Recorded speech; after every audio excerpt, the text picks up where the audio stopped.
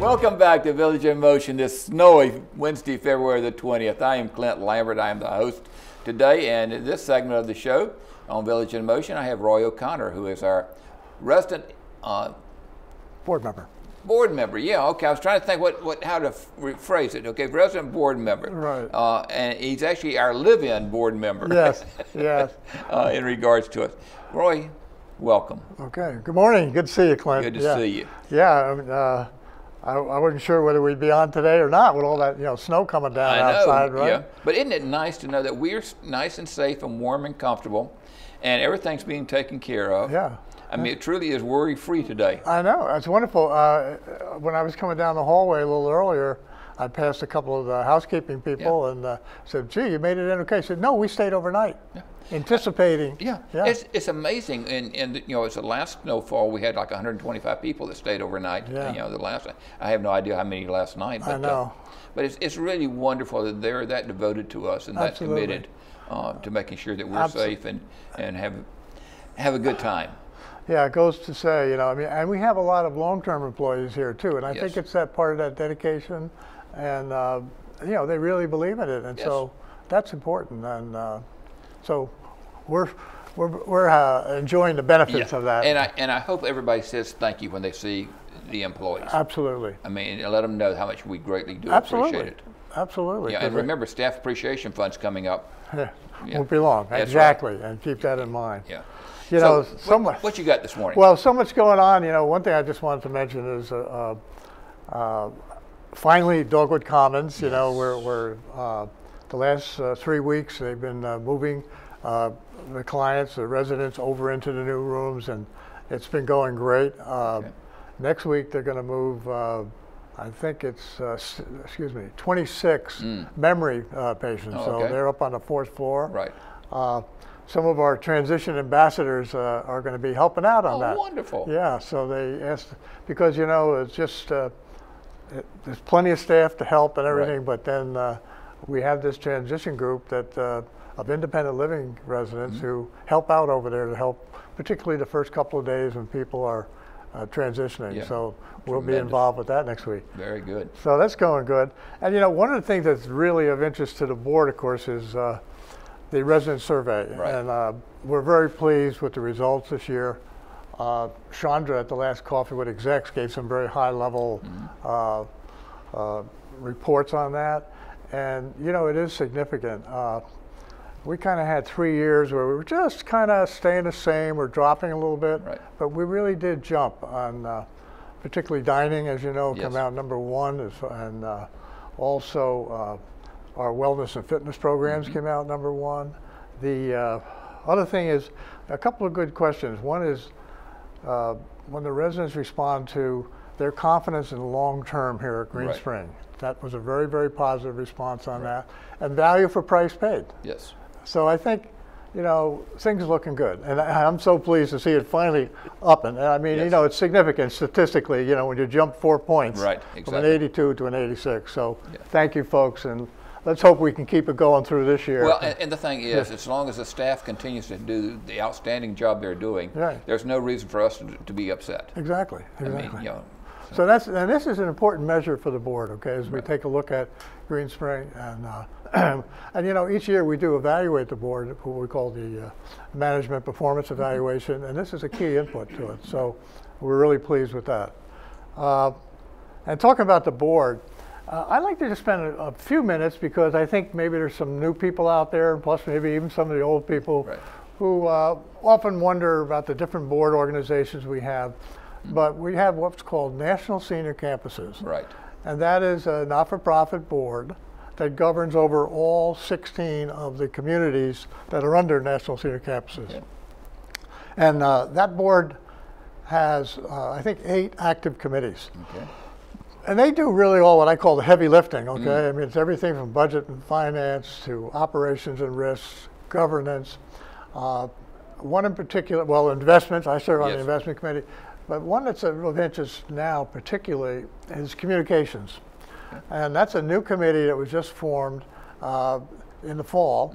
And so they're really just off and running. Okay. And Jackson Bain, you know, who is the Yes. chair of our board and also our CRC, Community Relations Committee out there, Anybody forgot that And, it, term? there's three of you on it. That's, that's right, myself and Eileen Airstead and Jackson Bain. Jackson Bain is the chair. But he is heading up this new communications committee.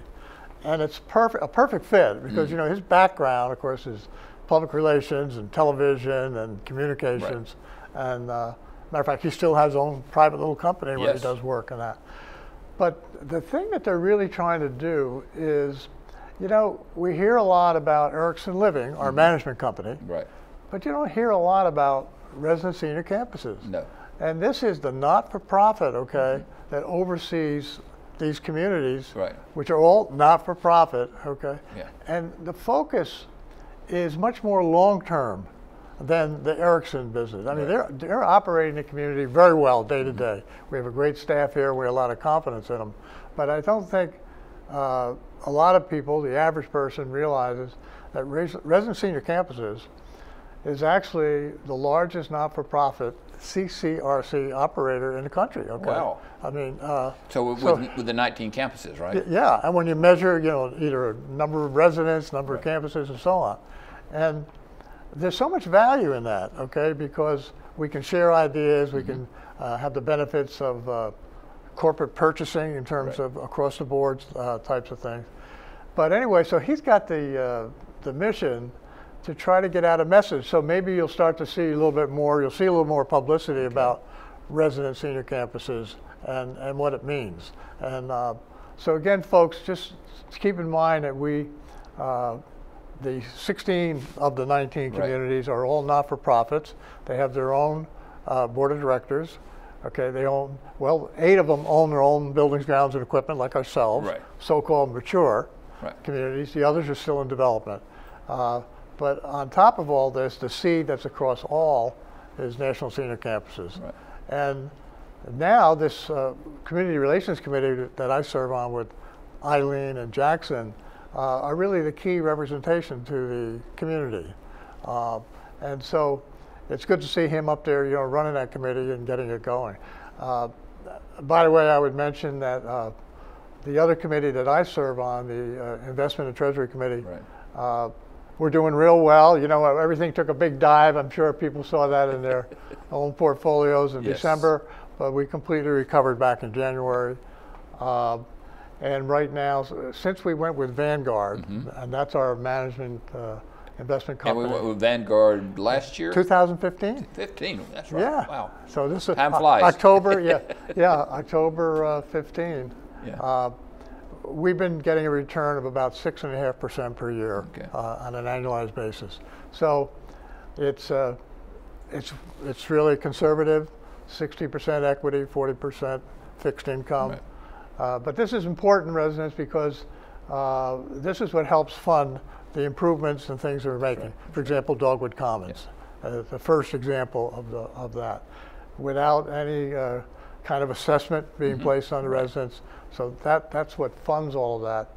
And uh, one, one resident the other day heard about all the changes that are coming. Right. Said, Roy, we're not going to run that down, are we? I said, no, don't worry about it. There- We have uh, plenty of uh, funds and we have some good long-range plans for the use of that. So I think we're in good shape on that. Very good.